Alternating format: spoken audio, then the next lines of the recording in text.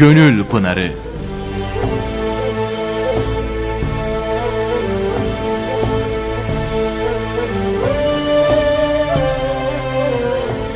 Merhaba, hayırlı akşamlar sevgili dinleyicilerimiz. Bir Gönül Pınarı programıyla daha sizlerle birlikteyiz.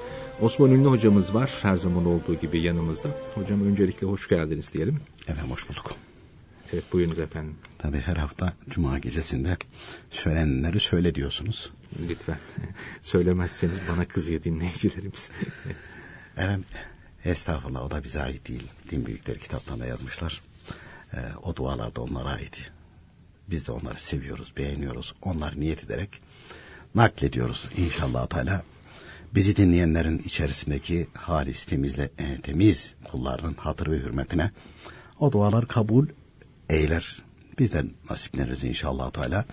Ee, tabii öncelikle Cuma gecemiz, Cuma günümüz hayırlı mübarek olsun. Cenab-ı Hak Cuma gecesinin ve gündüzünün hayırlarından bizlere de nasiplendirsin inşallah Teala. Feyzinden istifade etmeyi nasip eylesin. Amin. Ve bu arada hasta olanlarımız varsa Cenab-ı Hak Ankariz, karibiz zaman en kısa zamanda şifa ihsan eylesin. Dertli olanlara deva nasip etsin. Borçlu olanları eda etmek nasip ve müyesser eylesin. Sıkıntıda olanların da sıkıntılarını hayra tebdil etsin. Ve hepimizin ahir ve akıbetini hayır eylesin inşallah Teala. Amin. Amin dedik hocam. Ee, tabii bugünkü konumuzu da hemen soralım.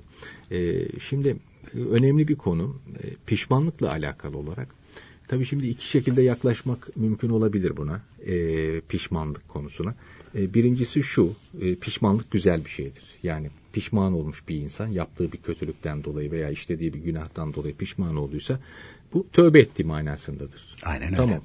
E, ben şu kısmını şimdi sizden istirham edeceğim. Son pişmanlık fayda etmez deriz bir de. Bu, bu kısmını yani bu buradaki pişmanlık biraz faydasız bir pişmanlık çünkü. Buradan ne anlamamız lazım? Yani pişman olmamak için o zaman ne yapmamız lazım? Evet tabii insan hayatı içerisinde e, allah Teala dünyayı imtihan olarak yarattığı için e, yaptığı bazı şeylerden, söylediği bazı şeylerden pişmanlık duyuyor. O da sizin ifade ettiğiniz gibi hayattayken bunlardan pişmanlık duyması tövbedir buyuruyor zaten kitaplarda. Bu büyük bir nimettir. E, ve fırsat eldeyken bunu değerlendirmek, kıymetlendirmek gerekir. E, hani bir söz var ya, e, çoğunu elde etmek mümkün değilse azını da elden kaçırmamak. Yani ömrü boşa geçirmişsin ama ömrünün sonlarında toparlamışsın işi. E bu da kar mıdır? E de bu da, bu da kardır. Ha keşke işte o zamanlarda toparlasaydım. Ha, keşke dememeli. Çünkü geçen geçti geriye döndürme imkanı söz konusu değil. Şimdi tabii bunları anlatırken hatırıma Nasrettin Hoca merhumun o meşhur bir anlatıyorlar bir rüyası hatırıma geldi de rüyasında birisiyle pazarlık yapıyormuş falan. Ee, bu ille yüz altın istiyormuş. Karşı taraf diyormuş ki ya 99 vereyim şu işi bağlayalım. Olmaz diyormuş. İlle 100, ille 100. E, sonra gözünü bir açıyor ki uyku. Hemen kapatmış demiş 99'da da razıyım. Şimdi bu e, rüya hali. Bu rüya hali. Hani bir de e, Abbasi e, halifelerinden Harun Reşit Hazretleri döneminde yaşamış olan Behdana Hazretleri var. Meczup Evliya'dan bir gün e, böyle gönlü daraldığı, sıkıldığı zaman bunu davet edermiş. E, onun nasihatlarından istifade eder, gönlü ferahlarmış Harun Reşit Hazretleri'nin. Demiş ya, bir zahmet demiş, bir arayın, bulup getirebilirseniz, hani davet ediyorum, kabul ederse bir getirin. Tabi Allah adamlarına karşı yaklaşma da e, edepli olmalı. Arıyorlar, tarıyorlar, bakmışlar bir, bir mezarlıkta bulmuşlar. Bir boş bir yer bulmuş, oraya uzamış, orada uyuyormuş.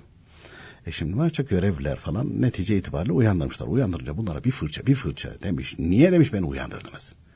Ne güzel demiş hükümdardım ben. Emirler veriyordum. Hizmetçilerim vardı falan demiş. Perişan ettiniz. Hükümdarlığımı aynı şekilde zayi ettiniz. Bunlar bir fırçalıyor. E diyorlar efendim sizi halife davet ediyor falan. Tamam demiş gidin hadi falan demiş abi. Ondan sonra bunlar geliyorlar. Diyor ki ne oldu? Efendim diyorlar böyle böyle bir mezarlıkta bulduk. Uyuyormuş. Uyandırınca bize kızdı. Bizi fırçaladı. Niye demiş kızdı? E ben demiş ne güzel demiş aynı şekilde e, şeydim hükümdardım. Benim hükümdarlığımı berbat ettiniz. Ee, onun için bize kızdı. Allah Allah. Ne, bir sonra da Beldan Hazretleri gelmiş. Diyor ki görevliler böyle böyle anlatıyor. Evet demiş ya. Senin demiş bu demiş vazifelerini demiş benim hükümdarlığı demiş berbat ettiler. E, demiş ya etme ya demiş. Rüyadaki demiş hükümdarlıktan demiş. Ne çıkar ki? Öyle mi demiş. Benim hükümdarlık demiş uyanınca gitti. Gözümü açınca gitti. Ama demiş senin hükümdarlık da demiş gözünü kapatınca gidecek. ne fark var arada? Bir de benim pişman olma şeyim var, şansım var. Gözüm açıkken yani. Tabii. Senin hayatta şansın o şansı yok. Sen demiş, e, seninki gözün kapatınca gidecek senin hükümdarlıkta. Demiş ne farkı var? Ben gözümü açtım gitti. Sen gözünü kapatınca gideceksin. E tabi sizin de ifade ettiğiniz gibi e ben demiş gözümü açınca hata ettiysem tövbe istiğfar edebilirim. Pişman olma fırsatım var. Ama senin yok. Gözünü kapattın bitti yani öldün. Onun için de e, allah Teala dünyada insan e, her koluna fırsatlar verir. Önüne fırsatlar çıkartır. Bu fırsatı değerlendirdi, değerlendirdi. Değerlendiremedi, o gitti. Bir daha geri saramıyorsun onu. Ya geçen sene böyle bir fırsat, geçen seneye geri dönemezsin. Geçen seneye geri dönemezsin. Hani bir söz var ya, zaman zaman bizden naklediyoruz. Dün öldü. Bugün can çekişiyor. Yarınsa meçhul. Çıkacağın belli değil. Değerlendireceğin an şu an. Hani büyüklerden bir zata bir e, genç gelmiş. Demiş efendim insan son nefeste Allah deyince imanlı gitmiş olur mu? Elbette diyor. E demiş bu o kadar zor mu? Demiş evladım ne zaman öleceğini biliyor musun? Hayır demiş. Biraz sonra öle, biraz sonra ölebilir misin? Evet demiş. E niye şimdiden Allah demiyorsun o zaman? Niye e, diyorsun? Doğru. Gözünü kapatınca pişman olursun ama o pişmanlığı fayda vermez. Sizin de ifade ettiğiniz gibi. Son pişmanlık o. Cehenneme atılanlar da orada pişman olacaklar. Hatta Muhammed Aleyhisselam'ın ümmetinden cehenneme atılanlar orada ağlaşacaklar. Cehennemdeki bütün meleklerin amiri konumunda olan Malik onlara diyecek ki siz böyle ağlaşıp duruyorsunuz. Siz kimsiniz? Biz derler Muhammed Aleyhisselam'ın ümmeti. Peki dünyada size söylemediler mi? Tövbe edin demediler mi? Anlatmadılar mı? Kitaplar yok muydu? Söyleyen olmadı mı? Olduydu ama işte biz düşünemedik. O zaman Malik dermiş ki buradaki ağlamanızın bir kıymeti yok ki. Orada ağlayacaktınız. Dünyadayken ağlasaydınız bunun faydası olacaktı. Burada pişman olmanızın, burada üzülmenizin, burada ağlamanızın hiçbir faydası yok. Hiçbir faydası yok. Şey de öyle. Hemen mesela e, radyoda o İslam ve Toplum programında zaman zaman naklediyoruz ya. Mesela kul hakkı meselesinde. Öldün. Mahşer günü dirilttin getirdi falan. Bir baktın ki ala, bir sürü alacağın var bilmem ne var falan filan. Ben bunlardan vazgeçtim. Diyorlar ki yok o. Burada öyle bir hakkın yok o bitti. O bitti. Hani ben bunlardan vazgeçeyim de başkası da benden vazgeçsin der gibi. Hani kaz gelecek evet, yerden tavuk, tavuk esirgememek gibi, esirgememek gibi. Melekler derlermiş ki onun işi bitti. Hatta mesela şu, şu ifade bile geçiyor. Şu hadise anlatılmış İmam Gazali Hazretleri anlatıyor. Ee, mesela diyelim ki hesaplar görüldü. Hakikaten üç aşağı beş yukarı e, bizim öğretmenliğimiz dönemindeyken on üzerinden not verirdik. Biz dört buçuk alan sınıfı geçiyordu. Dört buçuk aldım bir de geçiyordu sınıfı. Diyelim ki mahşer günü hadi dört buçuk aldık şefaatle mefaatla falan filan eline de vizeyi verdiler. Ondan sonra cennete giriş vizesi. Ondan sonra tamam dediler geç. Geçiyorsun. Kimse götürmüyor seni. Meleklere sorarmışsın. Niye götürmüyorsunuz? Bitti benim hesap. Cennete gideceğim. Vize de var. Derlermiş. E, belge tamam. Tamam da derlermiş. Senin daha işte falan falan kendi zamanda yaşadığın falan falan kullardan alacağın var. Bir gram alacağın var mesela. E o gelecek onun hesabı görürken alacağını alacaksın onu sonra gideceksin. Peki ne zaman gelir ona sıra? Bin sene sonra. 50 bin seneden bahsediyorlar.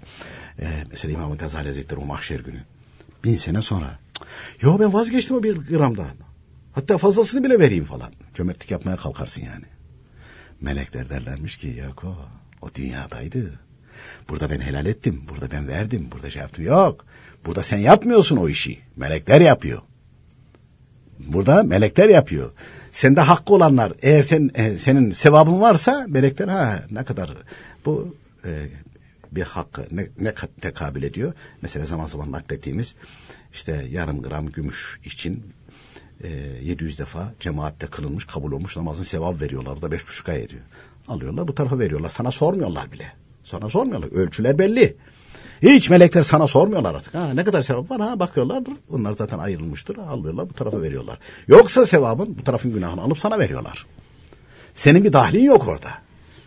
Ben vazgeçtim, ben tövbe ettim falan. Hiçbirisini dinlemiyorlar. Ne tövbe etmeni dinliyorlar, ne bilmem neyin dinliyorlar. Hiçbirisini dinlemiyorlar. Orada sen müdahil değilsin. Diyorlar ki o dünyadaydı. Helal ettim demek. Ve hatta tövbe ettim demek. Buradaki pişmanlığın faydası yok buyuruyorlar. Öldükten sonra yapılan pişmanlıkların hiçbirisi mesela cehennemdeki e, kafirler derlermiş ki bizi dünyaya gönderin. Biz başımızı secdeden kaldırmayacağız. Hiç isyan etmeyeceğiz. Hep böyle ibadet edeceğiz. Melek de derlermiş ki be ahmaklar oradan geldiniz ya. Be ahmaklar oradan geldiniz ya. Onun için de din büyükleri kitaplarına habire aa, yazmışlar ve anlatmışlar. Aman ha buyurmuşlar. Aman ha. Ecel gelmeden önce. Üzerinde kul hakkı varsa bunlarla helallaş. Günahlar varsa tövbe et. Kazaya kalan namaz borcu, oruç borcu, zekat borcu, e, kurban borcu ne varsa bunları dünyadayken hallet. Kul borçlar varsa bunları hallet. Hayvan borçlar varsa tövbe istiğfar et. Yani bunları hazırla. Yani pasaportunu al, vizeni yaptır, dövizini çantana koy, hazır bekle. Hazır bekle. Ecelin ne zaman geleceği belli olmaz. Çünkü ecel geldiği zaman eyvah dersin ama işten geçer. Hani zaman zaman anlatıyoruz ya. İslam ve Toplum programında anlatıyoruz. Bu e, Perşembe geceleri de aynı şekilde anlattığımız oluyor. Vaktiyle kibirli bir hükümdar varmış. İşte bir gün böyle adam zor beğenir falan. Kibirli kibirli gidiyormuş işte etrafındaki mahiyetiyle beraber. Hatta uzaklarda tepeden bakıyormuş hepsi. Bakmış böyle hiç kimse e, askerler maskerler falan mani olamamış. Böyle temiz giyimli hiç e, yüzünü kimse görmediği bir kimse gelmiş hükümdarın atının yularına tutuvermiş. Tutunca da zınt diye durmuş at. Bakmış at hareket etmiyor falan. Çekil falan, falan. E, çekilmiyor. At da gitmiyor. Rezil olacak. Ne istiyorsun demiş. Demiş hükümdarım demiş bir isteğim var ama demiş özel. Söyle demiş yok demiş herkes duymayacak. Adam hiç eğilmiyormuşmuş böyle. Mütevazi değil. Kibirli ya. Demiş eğil. Yok biraz daha biraz da iyice eğilmiş. Eğilince kulağına demiş ki ben ölüm meleğiyim. Hı? Demiş hık ya. Demiş şey bana bir izin versen müsaade etsen işte helallasam falan demiş. Bitti o.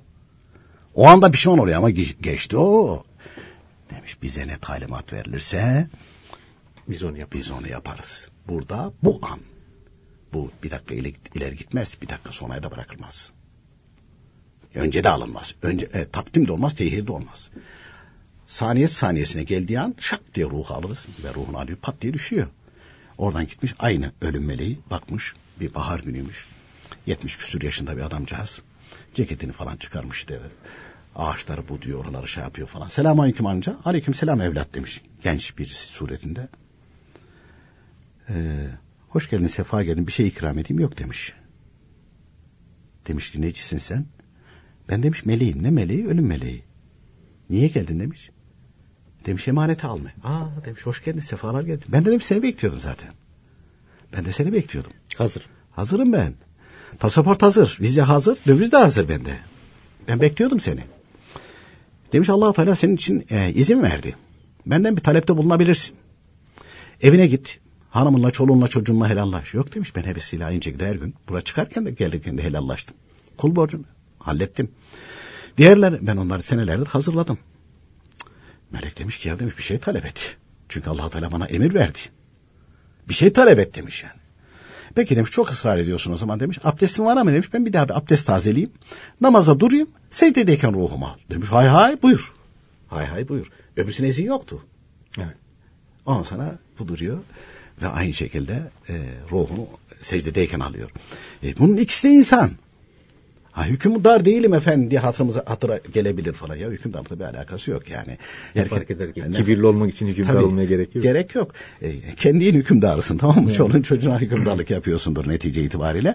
Onun için yani ölüm, ecel geldiği zaman aman efendim, zaman efendim bana bir izin verin efendim. Ben bir gideyim geleyim efendim. Ben şunları yapayım, ben bunları yapayım. Onlar bitti. Evet o anda çöküyor, pişmanlık çöküyor ama onun bir faydası olmuyor. Onun bir faydası olmuyor.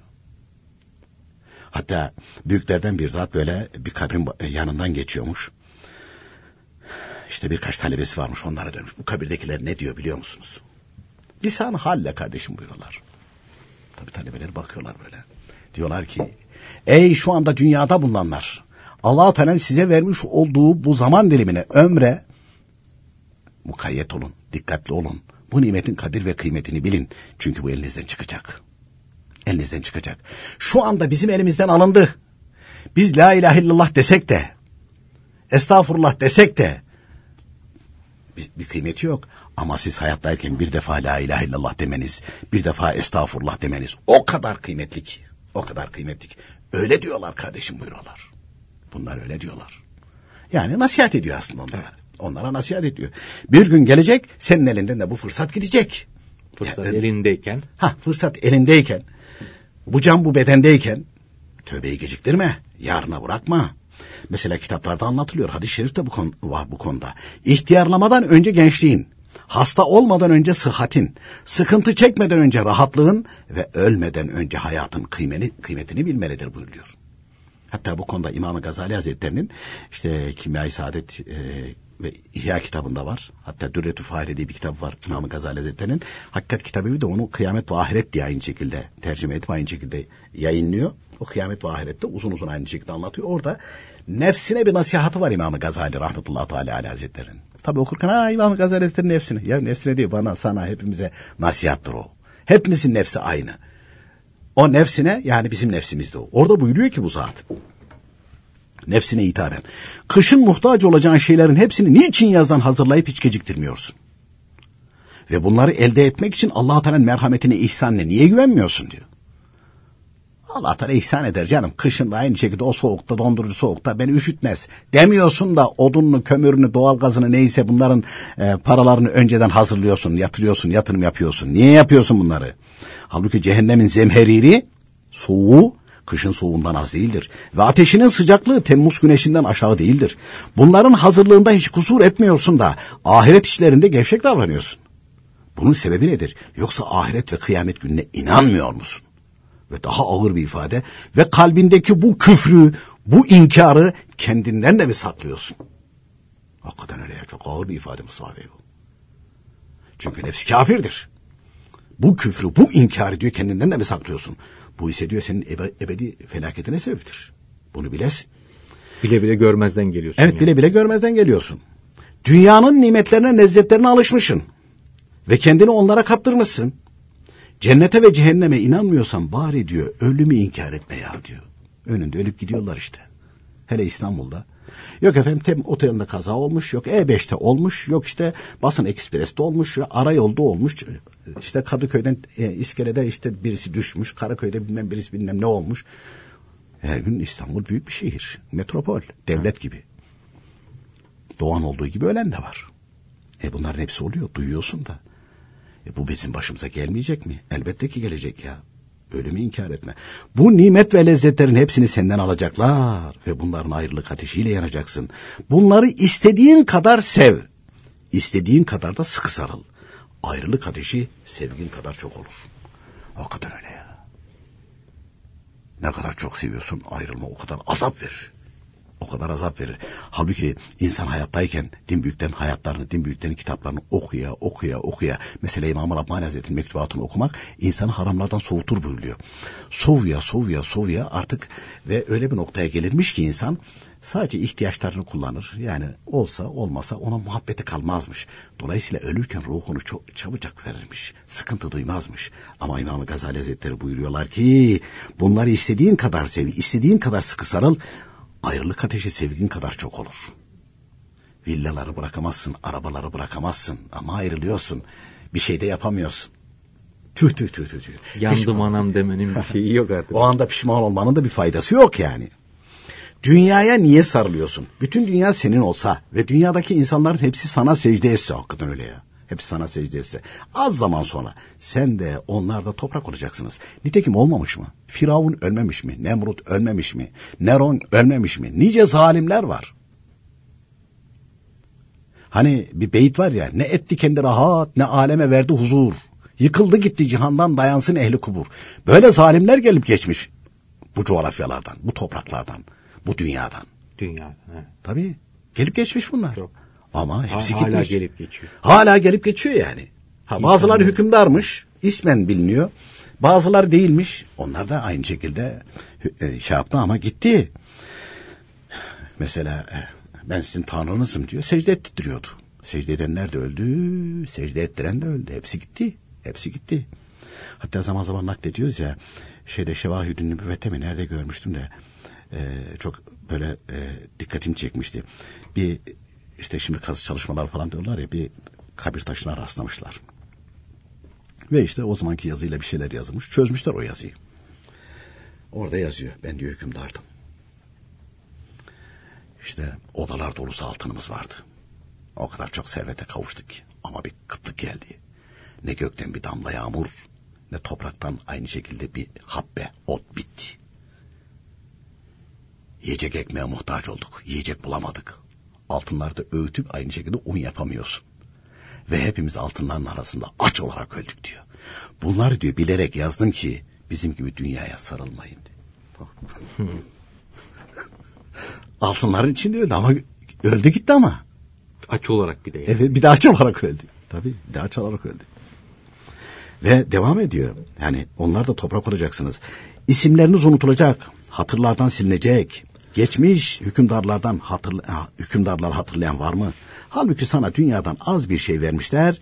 O da bozulmakta, değişmektedir. Bunlar için sonsuz cennet nimetlerini feda ediyorsun. Bir kimse kıymetli ve sonsuz dayanıklı bir mücevheri verip bununla kırık bir saksı satın alırsa ona nasıl gülersin? Ah maha dersin ya bir toprak parçasını bir altınla değiş dersin. Değil mi? İşte dünya alınan saksı gibidir. Onu kırıldı bil ve ebedi cevheri elinden çıktı bil ve sana pişmanlık ve azap kaldı bil. Ama işte o pişmanlık da orada fayda vermiyor işte. O da fayda vermiyor. Fayda vermeyen pişmanlık. Evet. İmam-ı Rabbani Kutsu Sözleri İslam alimden büyüklerinden bu zat buyuruyor ki cehennemden kurtulmak isteyen helal ve haramları iyi öğrenmeli. Helal kazanıp haramdan kaçınmalıdır. İslamiyet'in sahibini yasak ettiği şeylerden sakınmalıdır. İslamiyet'in hududunu aşmamalıdır. Gaflet uykusu ne zamana kadar sürecek? Kulaklardan pamuk ne vakit atılacak? Ecel gelince insanı uyandıracaklar. Gözleri kulakları açacaklar. Fakat o zaman pişmanlık işe yaramayacak. Rezil olmaktan başka ele bir şey geçmeyecektir. Hepimize ölüm yaklaşıyor. Ahiretin çeşit çeşit azapları insanları bekliyor. İnsan öldüğü zaman kıyameti kopmuş demektir. Kitaplarda böyle anlatılıyor zaten. İki türlü kıyametten bahsediliyor. Esas insan için, fert için en büyük kıyamet ölünce oluyor. O öbür hani büyük kıyamet diye anlatılan ama insan için büyük kıyameti öldüğü zaman. Niye? Ölür ölmez ruh bedenden çekilince dünyada yaptıklarının hepsi şekil olarak önüne çıkıveriyor. Günahlar, ana hepsini görüyor. Tüh tüh tüh tüh tüh vah vah vah vah vah. Hey, istediğin kadar tüh de istediğin kadar vah de. Kıyamet işte. Tabii. Ahiretin çeşit çeşit azapları insanları bekliyor. İnsan öldüğü zaman kıyameti kopmuş demektir. Ölüm uyandırmadan ve iş işten geçmeden önce uyanalım. allah Teala'nın emirlerini ve yasaklarını öğrenip şu birkaç günlük ömrümüzü bunlara uygun geçirelim. Kendimizi ahiretin çeşitli azaplarından kurtaralım. Tahrim suresinin 6. ayetinde mealen ey iman edenler kendinizi ve çoluk çocuğunuzu öyle bir ateşten koruyun ki onun tutuşturucusu insanlarla taşlar buyuruldu. Ve devam ediyor İmam Rabbani Hazretleri buyuruyorlar ki gençlik çağı nefsin kaynadığı, şehvetlerin oynadığı, insan ve cin şeytanlarının saldırdığı bir zamandır. Böyle bir çağda yapılan az bir amele pek çok sevap verilir. Halbuki bu çağda genellikle ve işin enteresan tarafı burada e, dinini bilmeyen yaşlanmış anne baba büyük konumunda olanlar da gençlere maalesef ters destek veriyorlar. Genç canım hele şimdi aynı şekilde bir gençliğin tadını çıkarsın ileride tövbe eder ibadet yapar. İmam Rabbani Hazretleri buyuruyorlar ki ihtiyarlıkta dünya zevkleri azalıp, güç kuvvet gidip, arzulara kavuşmak imkanı ve ümitleri kalmadığı zamanda pişmanlıktan, ah etmekten başka bir şey olmaz. Çok kimselere bu pişmanlık zamanı da nasip olmaz buyuruyor. Tabii ya. O da nasip meselesi. Tabii. Doğru. O yaşa ulaşmadan gençken ölürsün. Olmuyor mu Mustafa Bey? Oluyor. Pişman olma fırsatı bulamadan gidiyor. Bulamadan gidiyor. Hani yaşlılıkta bu pişmanlık da tövbe demektir ve yine büyük nimettir ama çokları bugünlere de kavuşamaz buyuruyor. Ve kavuşamıyor. Kavuşamıyor. Ha, yaşlanınca da pişmanlık aklına gelmeyebilir. Hani yaşlanmak çözüm tabii, değil yani. Tabii gelmeyebilir. Ee, bunun için de din büyükleri buyuruyorlar ki herkesin ama istisnası fırsat elindeyken ahirete hazırlanması lazımdır. Herkesin ama. İstisnasız bu. Emevi halifelerinden Süleyman bin Abdülmelik Mescid-i Haram'dayken onun yanına üzerinde yazı bulunan bir taş getirmişler. Özür dilerim. Tabi taşın üzerindeki yazıyı herkes okuyamıyor. Bunu demiş kim bilir.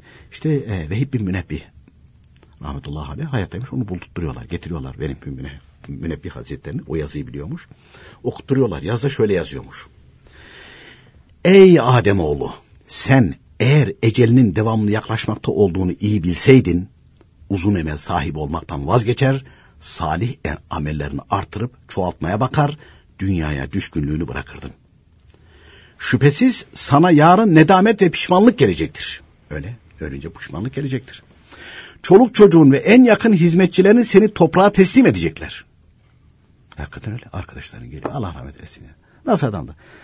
E, bir şeyleri vardı ama gene taksiratını Allah affetsin falan filan. Öyle söyleyecekler. Veyahut da çok iyi adam, çok iyi kimse diyecekler. Bir şey söyleyecekler. Sonra da ayrılıp gidecekler. Artık dünyaya dönüşün olmayacak. Amellerinle baş başa kalacaksın. İyi amellerini artırma imkanı bulamayacaksın iyi amel yapıp kabre gelmişsen ne mutlu sana. Günahlarla yüklü gelmişsen yazıklar olsun sana. Öyleyse kıyamet günü için şimdiden hazırlık yap. Pişman olmadan önce tedbirini al yazılıymış orada.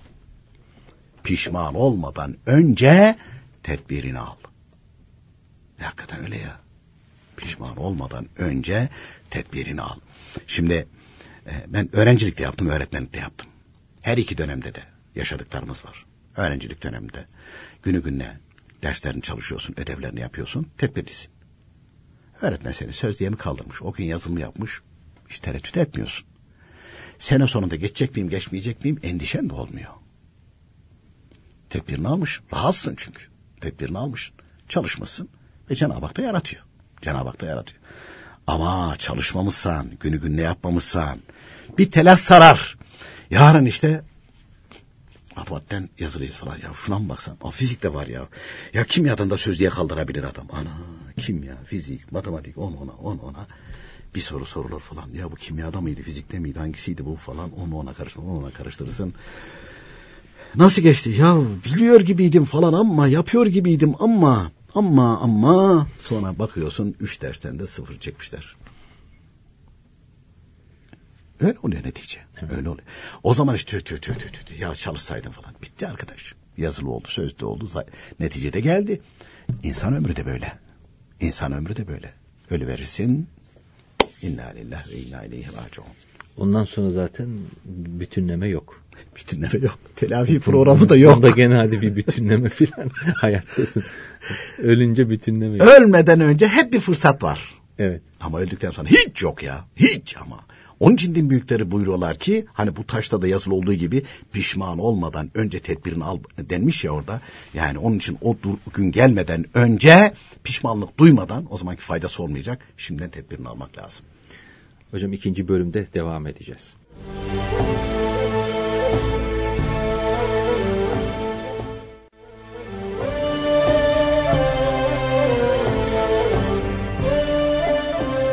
Değerli dinleyenler, Gönül Pınarı programına devam ediyoruz. İkinci bölümde sizlerle birlikteyiz.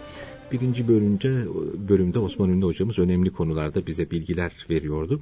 Aslında konular dememek lazım. Konu bir e, pişmanlıkla alakalıydı ama bu konuda önemli bilgiler aldık.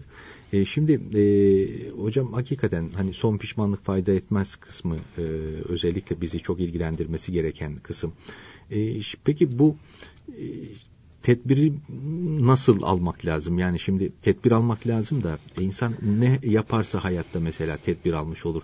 Biraz da ondan bahsedebilir misiniz? Şimdi e, Mustafa Bey El sünnet alimleri e, uzun uzun aynı şekilde kitaplarda yazılmadık bir şey bırakmamışlar. Hatta e, şeye girmeden onları nakletmeden önce e, Allah Teala rahmet eylesin. Emir abileri de toplantılarda anlatırlardı. Bir şey anlatırlardı. Bir gün böyle hükümdar işte kızar öfkelendi bir şey yapacak falan. Ee, bir böyle bir alim veli bir zatı çağırmış. Ya böyle durumlarda nasıl hareket edeyim? Demiş ki hükümdarım. Bir yüzük yaptır. Yüzüğüne de söyle. Sonra ne olacak? Yazdırma demiş. Yüzüğün üstüne yazdır. Yazdır. Öyle kızdığınız hemen karar verin hemen ona bak. Demiş sonra ne olacak? Demiş ona ceza verdin öldürdün. Sonra demiş sen de öleceksin. Neticesi bunun ölüm. Sonunu düşüneceksin. Sonunu düşüneceksin. Sonunda ne olacaksın? Öleceksin. Öyleyse bu adamı gırtlağını sıksan hükümdarsın da elinde yetki de var. Ya ama e, sen affedersen sen de bir gün aynı şekilde mahşerde hesaba çekileceksin. Sen onu çekiyorsun ya, ceza veriyorsun ya. Bir günde sen de hesaba çekileceksin. Sen dünyadayken aynı şekilde affedilmesi gerekenleri, tabii kul hakları yoksa, şahsına karşı, kendi e, şahsına karşı zararları olanları bunları affedersen orada da Allah Teala seni affedecektir. Önüne neyin geleceğini düşüneceksin. Heh, neyin geleceğini. Ondan sonra e, hükümdar hakikaten öyle yapmış. Kızdığı öfkelenince hemen ona bakamıyoruz. Sonra ne olacak? Ha, sonra ne olacak? Öleceksin. Öleceksin. Hemen e, o, o öfkesini yener ve sağ salim aynı şekilde hüküm verirmişmiş. Ve rahat etmiş yani. Dünyada rahat etmiş. Tabii dünyada rahat edince ahirette de aynı şekilde rahat edecek bu. Ahirette de rahat edecek. Bunun için de din büyükleri haber anlatmışlar. Ee, herkes sonunu düşünmeli. Sonunu düşünce bu, bu kimse tedbir alır. Sonun ne olacak? E ben doğdum. Tamam. Genç, genç oldum. Tamam. Kalıcı mı bunlar? Çocukluk kalıcı mı? Değil. Gençlik? Değil. Orta yaşlılık? Değil. değil. Yaşlılık, pirfanlık hiçbirisi değil. Neticesi? Neticesi ölüm bunun. Zaten insan ölümsüz e, olduğunu düşünürse öyle bir zehaba kapıldığı anda e, firavun olur. Evet firavun olur. allah Teala muhafaza buyursun. Dolayısıyla ölümlü. E, sonunu düşününce, sonunu düşününce bu kimse tedbir alır. Bu kimse tedbir alır. E, bugün dünyalık şeylerde bile insanlar tedbirini almıyor mu Mustafa Bey? Mesela diyor ki yaşlandığım zaman diyor işte sigorta primim olsun, sigorta primimi ödeyeyim. O yaşlı emekli maaşım, ha, olsun. emekli maaşım olsun, ondan sonra şunlar olsun, evim olsun, kimseye muhtaç olmayayım falan. Dünya hayatı için tedbir alıyorsun. Yani dünyadaki sonunu düşünüyorsun. Kısa hayat için. Kısa hayat için. Ama e, bunlar için tedbir alıyorsun. Hani birinci bölümde naklettik ya İmam Gazali Hazretleri. Kışın ihtiyaçlarını niye yazdan hazırlıyorsun evet. diyor değil mi? Odunu kömür alıyorsun. Ha, niye alıyorsun?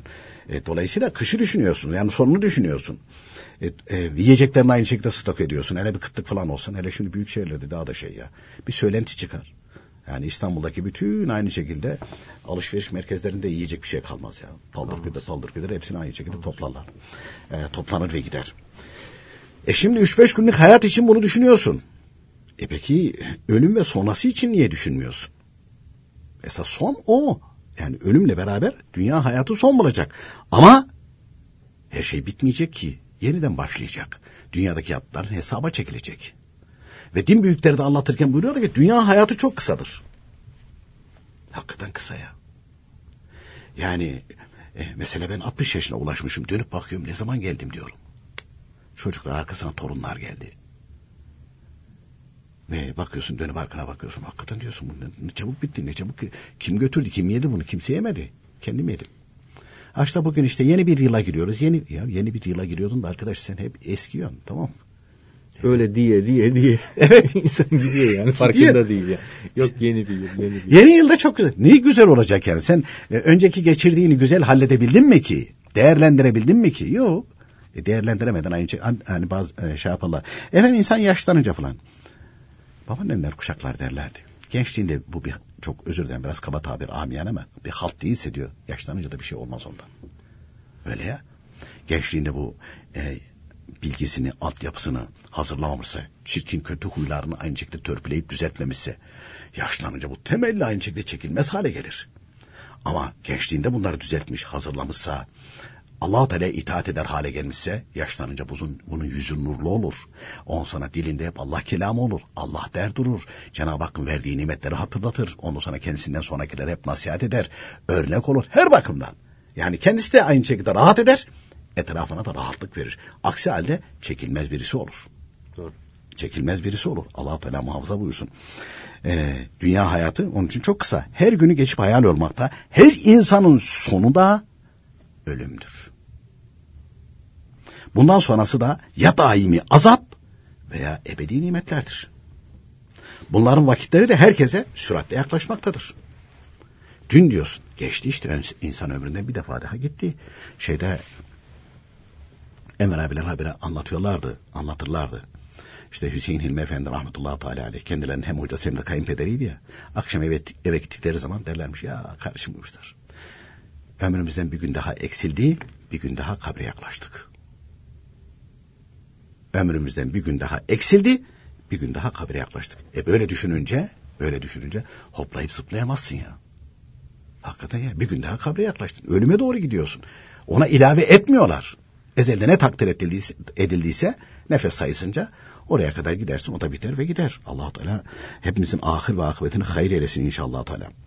Bu sebeple buyuruyorlar her insanın kendine merhamet etmesi, aklından gaflet perdesini kaldırması, batılın, yanlışın, yanlış olduğunu, batıl olduğunu görerek ondan kurtulmaya çalışması ve hakkın hak olduğunu da görerek ona tabi olması, sarılması lazımdır. İnsanın kendisi için vereceği karar çok büyük, çok mühim, vakit de çok azdır. Çok azdır. İleride yaparım. Hangi ilerisi ya? Nereye tehir ediyorsun? Nereye tehir ediyorsun? Hatta din büyükleri buyuruyor ki sen bugünü boş geçirdiysen, boş geçirdiysen ve bugünü yarın aynı şekilde telafi etmeye kalkıyorsun. Halbuki yarın için Allah Teala'nın ezelde takdir ettiği şeyler var. O hadiseler gelecek.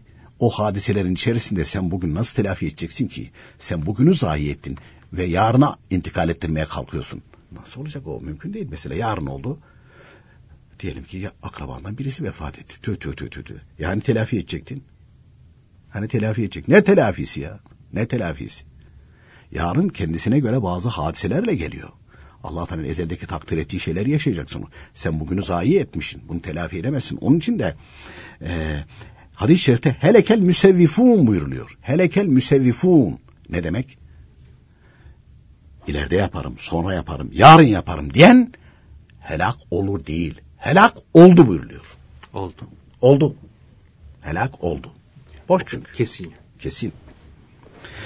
Dünyaya gelen her insan muhakkak ölecektir. Bunun için insanın öldüğü vakti düşünmesi, başına geleceklere hazırlanması gerekir. Ve şunu da hiç kimsenin unutmaması lazımdır ki buyuruluyor, hakka tabi olmadıkça ebedi yani sonsuz azaptan kurtulmak da mümkün değildir. Ben kurtulurum. Nasıl kurtulacaksın ya? Cenab-ı Hak ölçüyü bildirmiş. Nasıl kurtulacaksın? İş işten geçmeden, e, iş işten geçtikten sonra pişman olmanın faydası olmaz. Ya özür dilerim öyle miydi ya ben tövbe ettim ondan öldükten sonra. Melek de der ki geçmiş olsun. Hani bize bir söz var. Hani geçti borun pazarı süreşeyen Niğde'ye. Bitti yani. Borda pazar bitmiş. Hani Niğde'de var yetişebilirsin. tamam Son nefeste hakkı tasdik etmenin, iman etmenin bir faydası olmadığı gibi bu zamandaki iman da kabul olmuyor. Firavun da aynı şekilde Musa'nın Rabbine iman ettim dedi. Dediler ki yok. Çünkü gördün artık. Bir tek e, Müslüman olan, ehl sünnet itikadı olanın ölüm anında günahlarına tövbe etmesi kabul olur. Ama o zaten Müslüman. Evet zaten Müslüman. Zaten Ve e, İslam alimleri şöyle bir şey e, diyorlar. Mesela o gün öldün aynı şekilde Cenab-ı Hakk'ın huzuruna ruhunu çıkardılar. allah Teala sana şöyle derse buyuruyorlar. Kulum sana akıl nurunu vermiştim. Bununla beni anlamanı, bana ve Peygamberin Muhammed Aleyhisselam'a onun getirdiği İslam dinine iman etmeni emretmiştim. Bu peygamberin geleceğini Tevrat'ta İncil'de haber vermiştim. İsmini ve dinini her memlekete yaydım. İşitmedim diyemezsin. Gece gündüz dünya kazancı için, dünya zevkleri için çalıştın. Ahirette başına gelecekleri hiç düşünmedin. Gaflet içindeyken ölümün pençesine düştün derse ne cevap vereceksin buyuruyor. Ya Rabbi bana bir izin ver de gideyim de ben bunları telafi edeyim. Yok bitti telafi programı yok. Cevap da yok. Yok. Bir sonraki soruya geçelim o da yok. O da yok. Yok bitti. Hani demin siz güzel söylediniz dünyadayken hakikaten bir her şeyin bir telafi şeyi var. Mümkün var. Bir arkadaşım bir istiyor ya işte ya yapamadık ama bir telafi programıyla hallederiz falan der de Allah selamet versin. Dolayısıyla hani bir telafi programı yok. Bitti. Ölünce bitiyor iş. Her insanın başına gelecekleri düşünmesi, ömrü tükenmeden aklını başına toplaması lazımdır.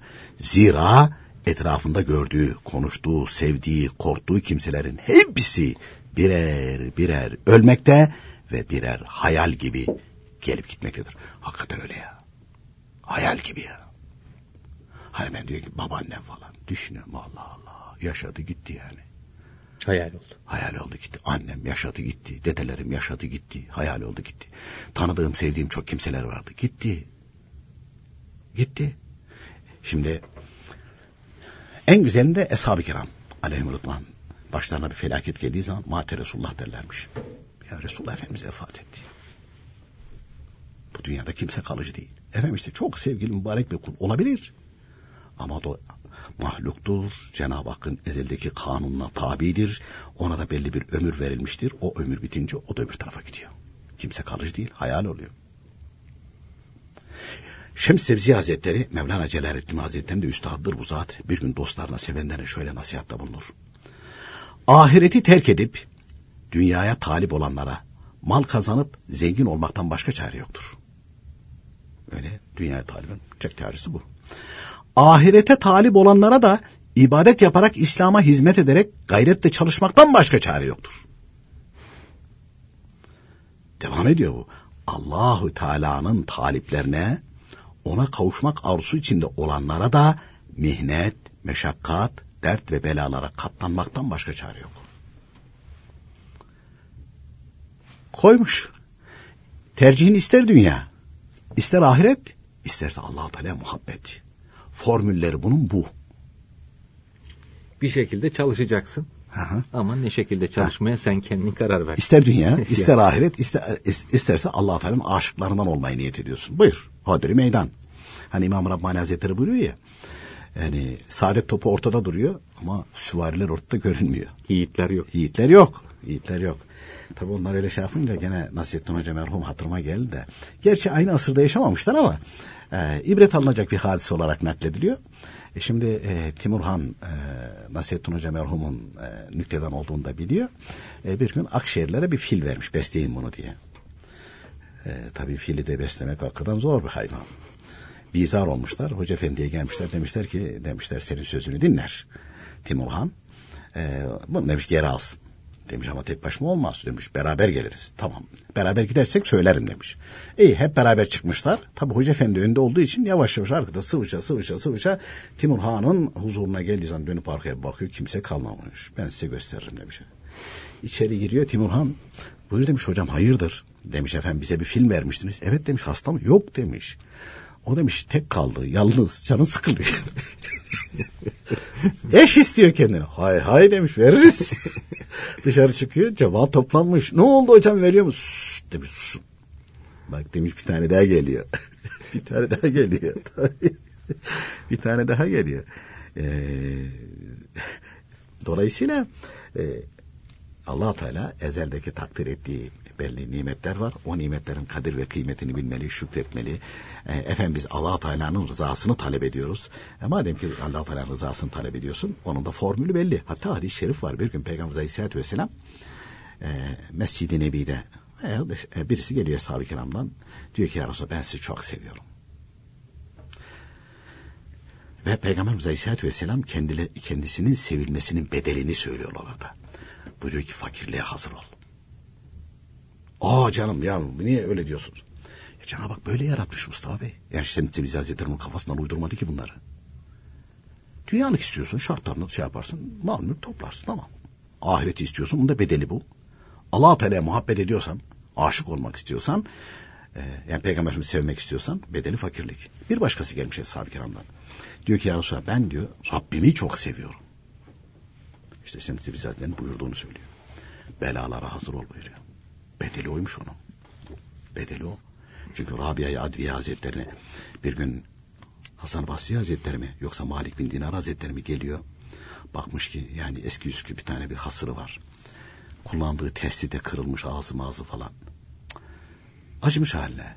Demiş ki efendim benim demiş tanıdığım böyle hali vakti yerinde tanıdıklarım var. Yani arzu ederseniz isterseniz size yeni bir hasır, yeni bir ıbrık temin edebiliriz. Cevaben diyor ki işte ey Malik veyahut da ey Hasan Vasi rahmetullahi aleyh. allah Teala zenginlere zengin olduğu için yardım ediyor? Hayır demiş haşa olur mu? Yani fakirler de fakir oldukları için onları kale almıyor mu zannediyor? Hayır demiş olur mu öyle şey? Olur mu öyle şey? Demiş allah Teala bütün kullarını aynı şekilde görüyor gözetiyor. Madem görüyor gözetiyor benim bu halimi de görüyor. Onun muradı buymuş. Biz de onun muradına itiraz etmeyiz buyuruyor. Benim bu halimi o görmüyor mu? E görüyor. E dilese aynı şekilde beni altın aynı şekilde e, altından e, işlenmiş ne bileyim halıda oturtturabilir. Ama eskimiş asır üzerinde takdir ediyor. Eskimiş asır. Hatta bir seferinde işte mübarek peş peşe üç gün arka arkasına oruç tutmuş. Ama suyla iftar etmiş, suyla sahur yapmış. Mecalsiz de kalmış. İşte komşu durumu şey yapınca bir tas çorba gönderiyor iftar vakti. Hadi dedi mumu yakayım diye kalkıyor. Kalkarken o anda işte bir kedi giriyor eve. O bir tas çorbayı deviriyor. Mübarek kendisi de sendeliyor. Ee, testiyi aynı şekilde düşürüyor. O da kırılıyor. Yerde böyle şey yaparken diyor ki ya Rabbi ben acizim, zavallıyım, senin fakir, zav, e, fakir, aciz bir, muhtaç bir kulunum, beni imtihan ediyorsun, biliyorum derken bir ses. Ey Rabia, eğer istersen altınları emrine veririz. Ama o zaman sevgimizi geri alırız buyuruyor. O zaman sevgimizi geri alırız. Onun bedeli de o. Onun bedeli de o. Demin siz güzel ifade ettiniz. allah Teala herkese neyi talep ediyorsa şartlarına uyma şartıyla dünyada veririm buyuruyor. İşte Şems Tebrizi Hazretleri onu anlatıyor. Dünya ise buyur. Ahiretse buyur. allah Teala'nın sevgisi ona da buyur. Hepsine buyur deniyor. Şey bırakılmamış ve devam ediyor Şems Tebrizi Hazretleri. Her kim kendini üstün görürse onun sonu zillete düşmektir. Kibir zillete götürür. Hesapsız sonunu düşünmeden malını sarf edenler fakir olurlar. Hakikaten öyle ya. Anadolu'da da çok böyle. Her kim fakirliğe sabreder, kanaatkar olursa sonunda zenginliğe ulaşır. Muhtaç olmaz. Herkesin kendisinde bulunan iki şeyden birisini öldürüp diğerini diri tutmaya çalışması lazımdır. Onlar da öldürmesi, kontrol altında tutması gereken nefsidir. Çünkü nefsi kontrol etmedikçe rahata ermek düşünülemez.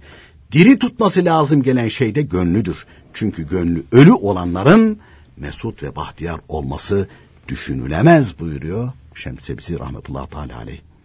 Hatim Esam Hazretlerine bizden bir kimse nasıl ve ne zaman dünyaya ibret gözüyle bakanlardan olabilir diye bir soru sormuş. Nasıl bakacağız ibretle? Ve bu zat da cevaben buyuruyor ki dünyada her şeyin sonunun harap herkesin gideceğin yerinde toprak olduğunu gördüğün zaman buyuruyor. sonunu düşün diyor sonunu. O zaman ibret alırsın. Her şeyin sonunun harap, herkesin gideceği yerinde toprak olduğunu gördüğün zaman. E şimdi o nasıl olur falan. Valla İstanbul'da şu bir Marmaray projesi vardı ya falan. Gecikmeli oldu. Hani İstanbul dışındakiler belki ilgilenmediği için bilmez. Evet. İşte oraları kazarken orada bir işte daha önce bir gemi batmış bilmem ne mi olmuş falan. Çanak çömlek çıkmış falan. E, işte burada işte hemen e, tarihi eserler devreye girdi falan. Durdurdular onları aldılar falan feşmekan neyse. Peki o su altında kaldı, toprak altında kaldı. O çanak çömlekleri kullanan var mıydı yok muydu? Vardı. Var. Peki ne oldu? Kullandıkları da harap oldu. Harabelerden çıktı çünkü. Kendilerinin kemikleri bile yok.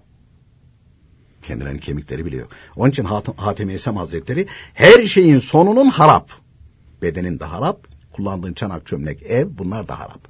Nitekim tarihi eserler diye şimdi antika yerlerden çıkarıyoruz ya harap olmuşlar hepsi. Efendim burada işte çok büyük medeniyet Doğrudur. Efendim işte o medeniyette çok şeyler kullanılmış. O da doğrudur. Neticesi gelelim bizim bir Fars hocamız var. Gelelim manahnu fihine derdi. Gelelim esen islası. Şimdi ne halde? Harap. Neticeye bakılır. Neticeye yani. bakılır. Netice ha. harap. Herkesin gideceği yer toprak. Böyle düşünürsen ibret almış olursun. Bir kimsenin evinden veya yakınından bir cenaze çıkar da o kimse bundan ibret almazsa ona ne ilmin, ne hikmetin, ne de nasihatın bir faydası olmaz demişler. Olmaz.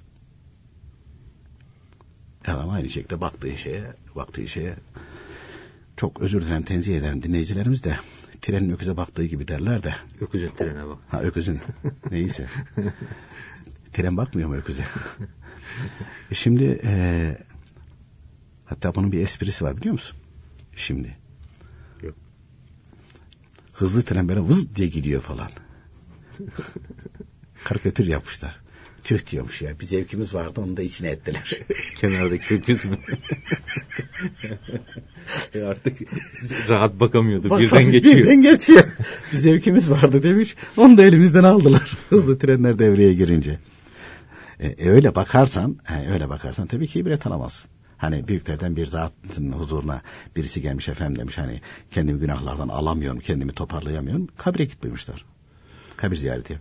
Ziyaret geliyor efendim demiş bir şey değişiklik olmadı. Demiş evladım gitmedim. Gittim efendim demiş. Ben demiş gittim kabristana. Ha demiş evladım. Sen kabristana parka girer gibi girip çıkmışsın. Ama demiş bizim muradımız o değil. Gidecektin demiş o her bir tarafını dolaşmak değil. Çökecektin birisinin başına. Bu çocuktu, genç oldu, evlendi, çoluk çocuk sahibi oldu, evi barkı vardı, parası vardı. Ama bunların hepsi dünyada kaldı, bu buraya geldi. Belki bedeni bile şu anda toprak oldu, çürüdü, bir şey kalmadı. Ben de bunun gibi buraya geleceğim, çürüyeceğim, sadece amellerim kalacak. Bunları düşürsen ibret alırsın. O zaman aynı şekilde kötülük edemezsin, kötü söz söyleyemezsin, yalan diyemezsin, şey yapamazsın. Eyüp, Eyüp kabristanını biliyorsunuz değil mi? Ya park gibi oldu ya. Oradan bir sürü insan gelip geçiyor. Oho. Çok çekirdek yiyerek geçiyor, işte sigara içerek geçiyor, sakız çiğneyerek geçiyor. Kız olan geliyor kol kola bir de aynı şekilde aşk meşk yapmaya kalkıyor falan. Ya. Yanlarda da bir sürü insan yatıyor Evet, yani. cık, Allah Allah. Ali bin Muhammed Hazretleri kendisine nasihat isteyen bir gence hitaben buyuruyor ki ey oğul körpe ve taze olan şu gençliğinle gururlanma.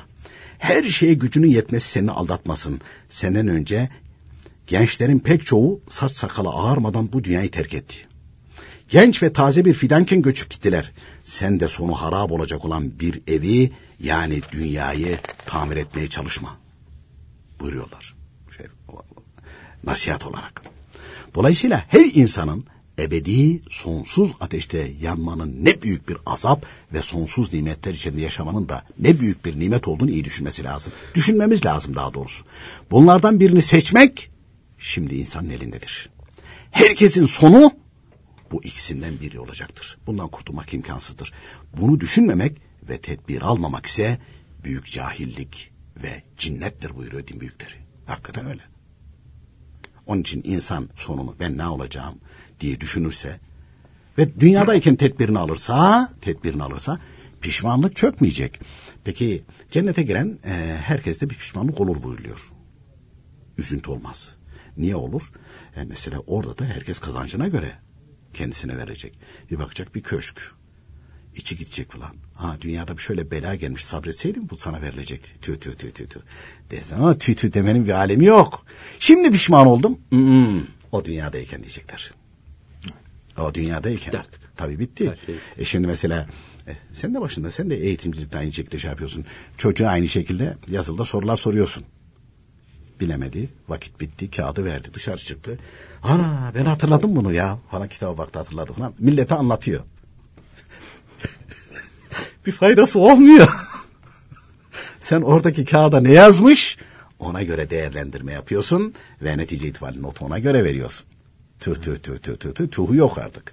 Onun için onun için e, din büyükleri çok güzel söylemişler. Pişman olmadan önce yani ahirette öldükten sonra pişmanlık çökmeden önce o gün gelmeden önce tedbirini almalı, dünyadayken tövbe etmeli, kul hakkılarını ödemeli ve Rabbimizin aynı şekilde emrettiği ibadetleri vaktinde yapamayacak bunları kaza etmeli. Kısaca pasaportu hazırmalı, hazırlamalı, vizeyi almalı, dövizi de koymalı, hazır beklemeli. Peki hocam çok teşekkür ediyoruz vermiş olduğunuz bilgilerden dolayı. Biz teşekkür ederiz. Sevgili dinleyicilerimiz bugün de bize ayrılan sürenin sonuna geldik. Önümüzdeki hafta yeniden sizlerle birlikte olacağız. Bir başka konuyu soracağız hocamıza. Şimdilik hoşçakalınız.